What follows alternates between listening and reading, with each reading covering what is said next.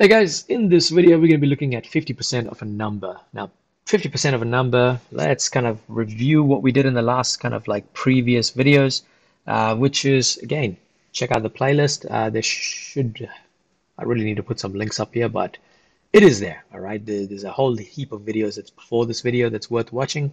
So straight away, I'm going to go write down 50% is the same thing as saying a half.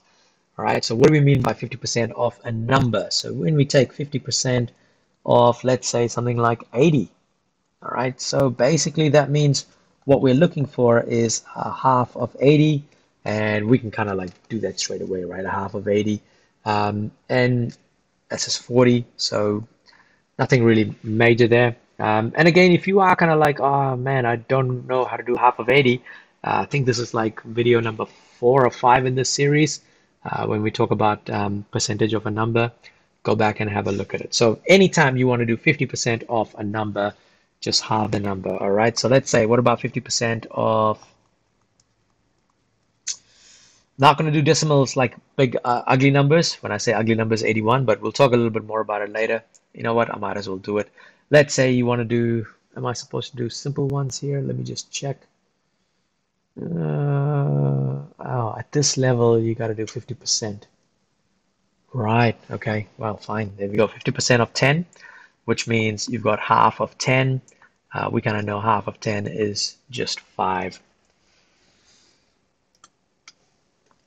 Yeah, I guess it's a bit, a bit strange, kind of like doing uh, some of the more, uh, you know, like the uh, intermediate level maths, because um, I've just been doing so much high school maths. It's it, it's it's kind of fun.